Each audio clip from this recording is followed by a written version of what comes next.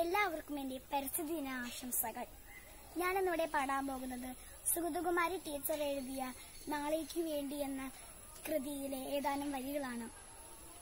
ഒരു തൈ നടാം നമുക്കമ്മയ്ക്കു വേണ്ടി ഒരു തൈ നടാം കൊച്ചു കൊച്ചുമക്കൾക്കു വേണ്ടി ഒരു തൈ നടാം നൂറു കിളികൾക്കു വേണ്ടി ഒരു തൈ നടാം നല്ല നാളേക്കു വേണ്ടി.